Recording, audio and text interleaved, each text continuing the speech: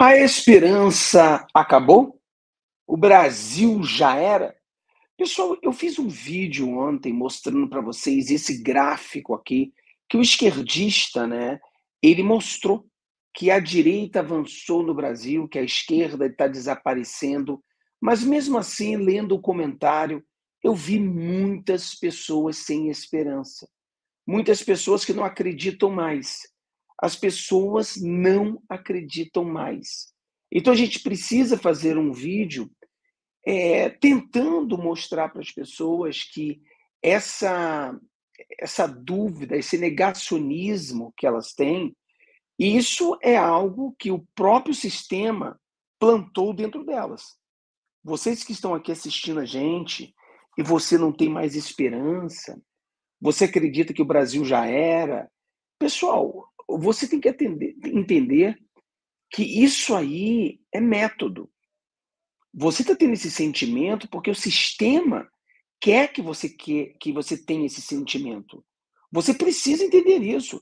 O, a única forma do sistema continuar a crescer no Brasil e fazer com que a direita venha cair ou venha perder é ele colocar esse sentimento dentro de você de que não tem, que a esperança acabou. Nós temos que lutar até o último minuto, nós não podemos perder a esperança.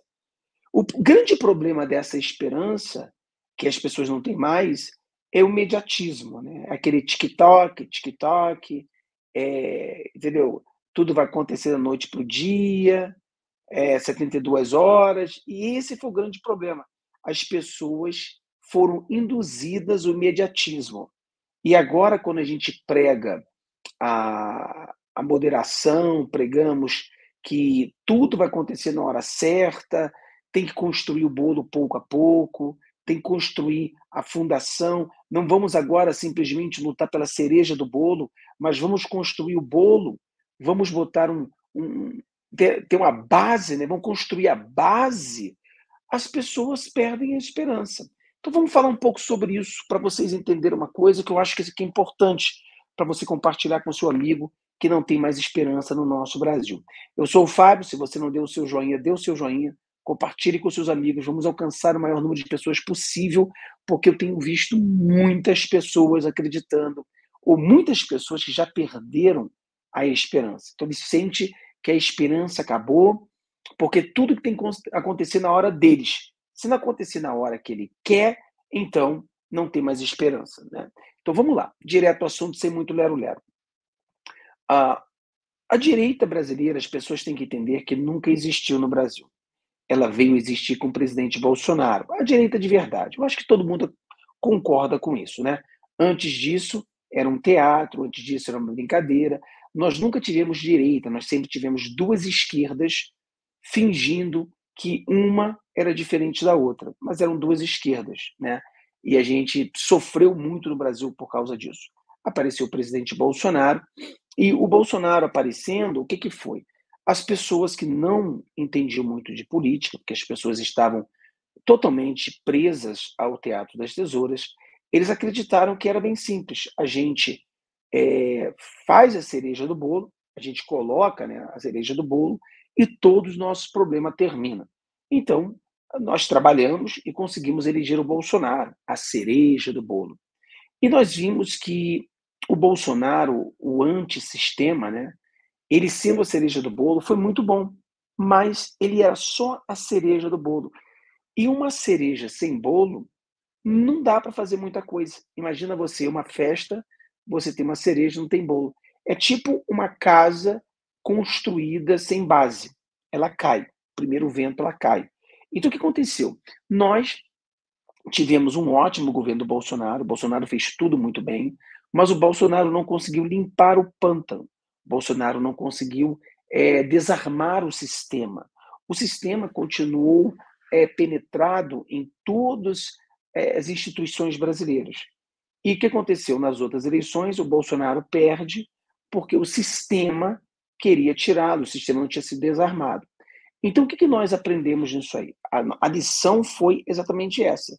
Não adianta a gente lutar só pela cereja do bolo. Porque com a cereja, ou seja, só com o executivo, a gente não consegue desarmar o sistema. Nós precisamos aprender com o Bukele, precisamos aprender também com a derrota do Trump, precisamos aprender com o que está acontecendo na Argentina. Então, o que o Bukele fez? O Bukele, quando eleito, ele foi também a cereja do bolo. Dois anos depois, ele conseguiu construir o bolo. Aí ficou sendo ele a cereja com o bolo inteiro, ou seja, foi construído em cima de uma base. Então, o Bukele conseguiu mudar o El Salvador. Então, o Bukele não mudou o El Salvador porque o Bukele é melhor do que o Bolsonaro. O Bukele mudou o Salvador porque o Bukele conseguiu construir a base. No Brasil, as pessoas votam para a presidência por ideologia, mas quando chega a vereadores, prefeitos, ele vota porque o cara consertou a luz no poste, vota porque o cara pintou a rua dele. Então, ele vota para essas pessoas.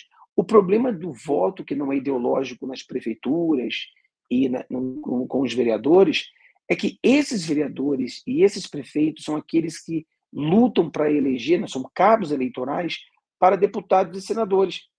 Que deputados e senadores é, vamos dizer, prefeito, é, vereador, vereadores, prefeitos, deputados, senadores. Essa é a base, essa é, é o bolo. Então, o que está acontecendo esse ano? O Bolsonaro, estrategicamente entendendo isso, enquanto muitos xingavam Bolsonaro, criticavam Bolsonaro, o que, que ele fez? Ele foi para exatamente isso. Poxa, eu vou construir o bolo. E ele começou em todas as cidades do Brasil, todos os estados, não as cidades não, todos os estados, em várias cidades. E a direita, ela cresceu muito. Até mesmo o esquerdista aqui, ele bota alguns pontos. Eu vou botar alguns pontos, já mostrei esse vídeo para você, mas eu mostro alguns pontos para você entender o que a gente está falando. Esse bloco, esse gráfico aqui mostra quantidade de população que vai ser governada pelos três setores políticos, né? E a comparação com a eleição de 2020. Então, a esquerda, considerada aí só esquerda mesmo, não vamos considerar PSB, essas coisas. Extrema esquerda. Vai governar 7 milhões de habitantes. O centro, que é uma direita, né? Que tem todos esses partidos híbridos e tal, vai governar 79 milhões de habitantes. Caiu de 122 para 30, para 79. E a extrema-direita, bolsonarista e outros, vai governar 73 milhões de habitantes. Então a gente para aqui. Claro que quando ele fala esquerda, ele quer dizer a extrema esquerda. Claro, quando ele fala o centrão, a gente sabe que centrão é aquela centro-esquerda e centro-direita, né? Mas o mais importante aqui, quando ele fala a extrema-direita. Extrema-direita somos nós, que não somos nada de extremos, somos conservadores. Então, o que acontece? Eu já expliquei para vocês que num país onde nós temos a maioria de esquerda, como no Brasil sempre foi, né, o sistema todo de esquerda, como é que você transforma um país de esquerda para a direita?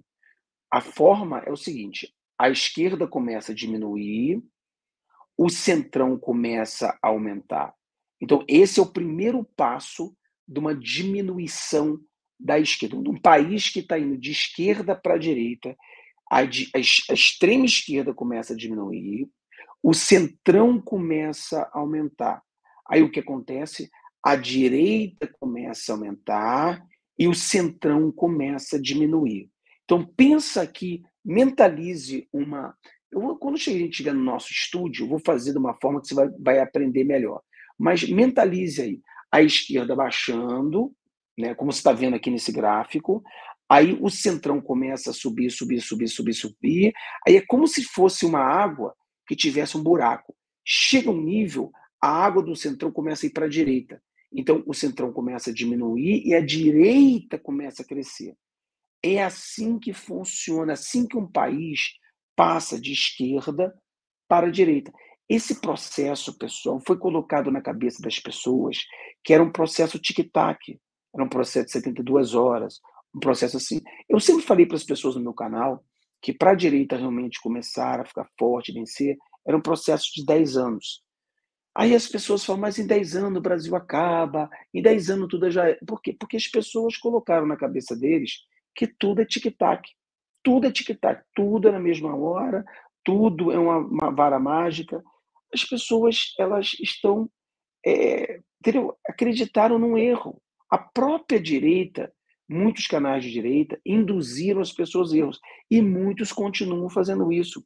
Muitos continuam dizendo que a mudança tem que ser agora, tem que mudar agora, porque em 2026 já era, eles vão fazer a mesma coisa. Pessoal, 2026 a direita estará mais forte do que hoje. Não quer dizer que 2026 nós teremos uma somente direita no Brasil, zero esquerda e zero centrão. Não. Esse trabalho é um trabalho progressivo. Ele vai pouco a pouco indo para a direita. Quer dizer que, quando o Bolsonaro ganhou, que ele era a cereja do bolo, o Brasil melhorou um pouquinho. Aí, agora nas outras eleições, o Brasil melhorou um pouquinho mais. Agora, domingo passado, retrasado, né, a, o Brasil melhorou muito mais. Quer dizer, porque agora a gente está trabalhando na base. Quando você trabalha na base, você não vê. Por exemplo, imagina você, você vê assim uma pessoa vai construir uma casa. O cara está trabalhando na base, você não vê nada acontecendo. Né? Não tem, pô, cadê a casa? O cara está falando que está construindo a casa, não estou vendo nada. Você não está vendo nada porque está construindo na base, está construindo um alicerce. Não dá para você ver as coisas que estão subindo. Então, é a mesma coisa que o Bolsonaro está fazendo hoje. Está fazendo uma construção aonde talvez você não, você não consegue ver. Porque você está focado no STF, você está focado é, no Pacheco, você está focado no Lira, você está focado no Lula, você está focado naquelas, naquelas uh, pessoas que estão ali como na cereja, né? A cereja do bolo podre. Mas a única forma de derrubar essas cerejas aí é a gente ter uma base forte. Então não adianta você querer derrubar aquela cereja sem você ter uma base. Essa cereja não cai. Então o que nós precisamos fazer é continuar o nosso trabalho, continuar acreditando. Cara, eu falei para as pessoas, Fábio, ó, 2026 a gente vai bombar. Aí as pessoas nos comentários, ah, você é muito inocente, 2026 não vai ser nada. Porque essa pessoa é o verdadeiro inocente. Porque ele botou na cabeça que tudo tem que ser em 72 horas. Se não for. Ele, ele quer o milagre, ele quer plantar um pé de manga e quer colher manga duas semanas depois. Ele não tem, ele não tem entendimento de que, olha, você vai plantar o pé de manga agora, você vai arregar, você vai preparar a terra, né? Você vai fazer todo aquele trabalho, aí a manga vai crescendo, crescendo, você tem que arregar, você tem que botar algum tipo de fertilizante, para que daqui o tempo certo aquela mangueira venha da manga. Mas não adianta, as pessoas não querem isso. Elas querem ir dormir hoje, acordar de manhã e tudo ter mudado. Pessoal, vamos acreditar, pessoal. O Brasil hoje. Lembra quando o Bolsonaro falou assim? Nós temos o Congresso mais conservador da história. As pessoas às vezes até brincam, criticam. Pessoal, é que você não entendeu. Ele está fazendo uma comparação, uma comparação do que era. E se você compara o Congresso atual do que era, realmente, esse é o Congresso mais conservador da história. E as pessoas, até de direita, falam isso assim, é, debochando, né? Não, mas o Bolsonaro sempre teve certo. É o melhor o, o, o Congresso é o mais conservador. Não quer dizer que é o ideal ainda, mas é mais conservador do que era, sem dúvida. Mas, Fábio, ainda temos muito centrão. Claro que sim, mas o nosso trabalho é purificar a direita. Por isso que o partido é, do PL ele vai se purificar. A gente não precisa um partido novo. A gente precisa eleger mais deputados, senadores, vereadores, prefeitos de direita de verdade no PL, porque isso vai purificar todo aquele infiltrado, toda a esquerda vai sair. Então, pessoal, a esperança não acabou. Cara, 2026 está logo ali. Eu venho falando para vocês há muito tempo que a nossa vitória real começa em 2026. 2027, a gente, se nós trabalharmos, porque é uma, é uma condicional. Se você acreditar, se você parar com esse pessimismo, se você parar de ser negacionista e você acreditar e trabalhar para 2026, 2026 a gente pode eleger 54 senadores, a gente pode eleger um número gigante de deputados. Ou seja, a gente não vai ter ainda a maioria dos deputados, não teremos ainda, é, talvez, uh, todos os senadores, mas vai ser um grande avanço e a gente vai trabalhar sobre isso. Então, acredito que em 2026 nós teremos um presidente de direita e teremos um Congresso muito mais de direita e um Senado mais de direita. Se nós trabalharmos, se nós continuarmos na luta, cara, grandes coisas irão acontecer começando 2027 com um Congresso renovado. Lembrando que em 2027 a gente pode eleger um, o, o presidente do Senado realmente de direita e poderemos eleger um presidente da Câmara realmente de direita. Quer dizer, do Senado, muito mais fácil ainda. Então vamos trabalhar, está nas nossas mãos, vamos acreditar para que a mudança aconteça, tá? Então Deus abençoe todos vocês, que você tenha um dia maravilhoso.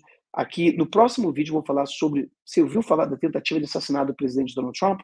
Eu fiz um, um vídeo aqui agora, vou soltar para vocês um vídeo sobre o Trump, vou fazer agora, que botei ali com a tradução, né, traduzi com aquela inteligência artificial, fiz traduzir dois vídeos para você com novos detalhes sobre o que aconteceu aqui nessa nova tentativa de assassinato ao Trump, tá? Então assista porque você vai aprender muita coisa. Deus abençoe a todos. Tenha um dia maravilhoso. Pessoal, a esperança não acabou. Eu continuo tão esperançoso quanto eu estava lá atrás. Deus abençoe nosso Brasil.